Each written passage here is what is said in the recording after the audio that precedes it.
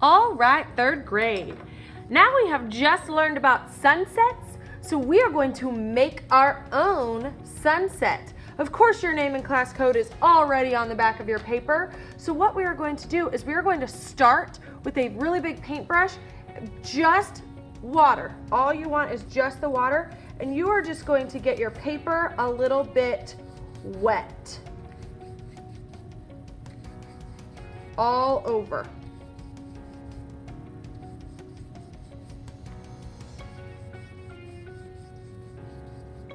This is gonna help your colors really kind of run into each other and kind of blend, in, blend into each other like a real sunset. So, we're gonna be using tempera cakes today, which are really similar to watercolors. They're just a lot bigger. So we need to put a little puddle in there first and stir it around to mix that water in with that paint. Then for my sunset, I think I'm gonna do yellow at the bottom of my paper. I think I'm gonna have it go a little bit higher on this side. Then I'm gonna get my orange. Make sure to mix, mix, mix. And I'm gonna let my orange kind of blend in with my yellow. And this is again why we get our paper wet first, because it'll just make it look a little more softer, kind of like a real sunset.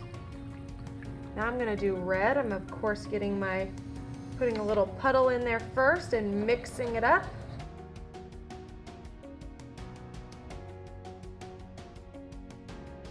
Kind of letting my red kind of go a little high. I like that. Let it go kind of high on my paper. Then I think I'm gonna get a little blue. And I don't want my blue to be super, super blue. So I'm not gonna mix it too much with my water. Remember, if you want your colors to be light, don't mix them too much. If you want them to be super, super bright like these are, then mix them, mix them, mix them in with that water to really blend that paint. So you can see how light this blue is because I didn't really mix it very much. It's not a super, super, super bright blue. Kind of like that. Then I'm gonna get some purple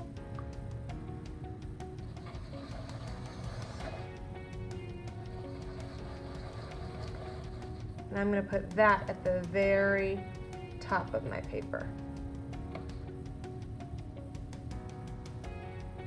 I think I want a little more blue in that purple. I want it to be kind of more like a dark purple. Ooh, it's a little bit too dark. Ooh, there we go, I like that.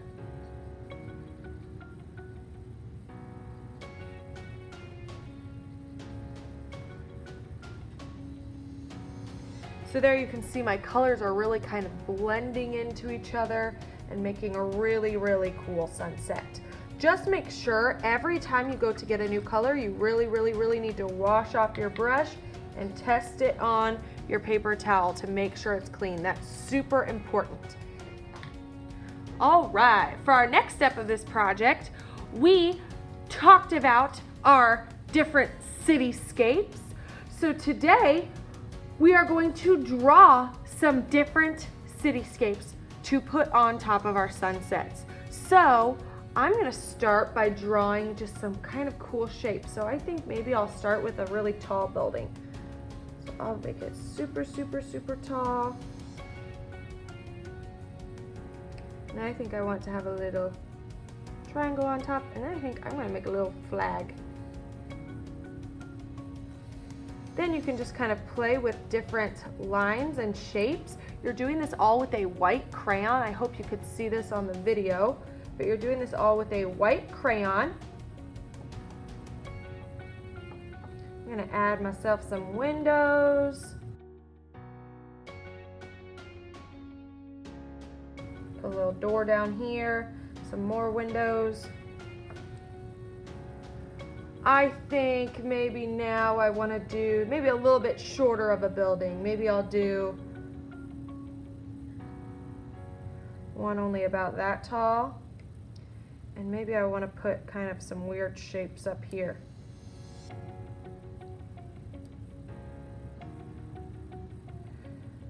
So you can kind of come up with your own building or you can try to make a building that you've seen before. It's kind of up to you what kind of buildings you're going to make.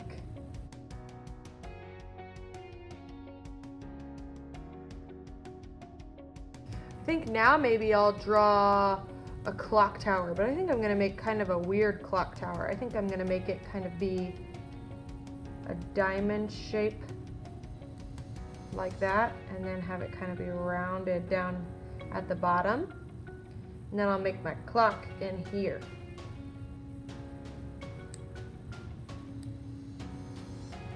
And maybe some weird circle shape up there.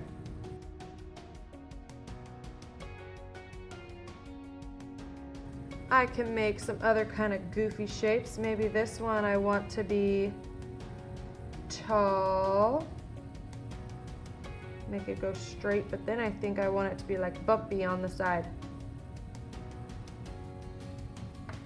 You can come up with your own kind of buildings, guys. Definitely.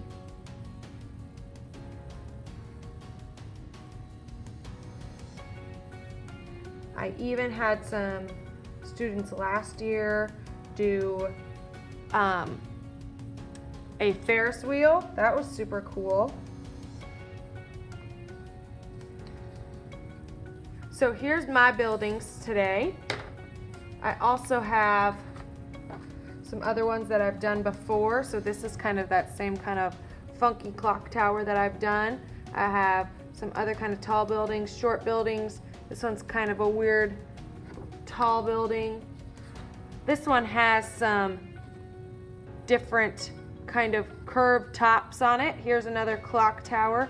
This one's kind of cool because I kind of did two buildings layering behind each other. So this one's in front and then I have this tall one going behind it. I did the same thing over here. I have kind of just two really tall buildings right in front of each other. This one's kind of cool with its curved top. This one's stacked on top of each other. This one almost looks like it could be a church or something. This big one with these really tall doorways and arched tops.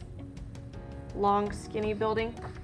But you can see that I have definitely left space in between. You want to do that because when we cut these out and glue them down, you want to make sure that there's enough space in between and behind to see your beautiful, beautiful sunset. All right, for the last step of this project, you're going to grab your scissors and start cutting out your shapes. If you have a little tiny flag like this, that's okay, but you don't want to cut it so all that's holding onto it is this little, little tiny line. So I like to just leave a little more black paper around that so there's a little bit more holding it together. I'll show you here in just a second once I've cut it out.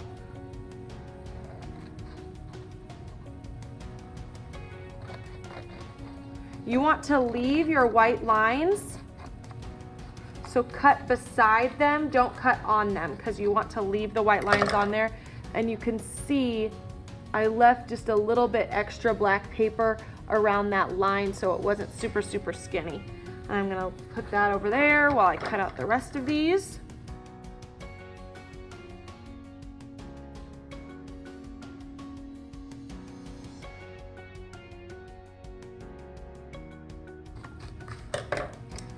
All right, last step for our project is we're gonna glue these down. You only need a little bit of glue, just a skinny, skinny line going along the outside edges. Just a small amount of glue. Make sure to line it up with the bottom of your paper. I like to leave a little bit of space on the edge and then when I do my next one, I'll leave a little bit of space in between my two buildings so we can see our sunset coming through. So I'm gonna leave just a tiny bit of space, just like that.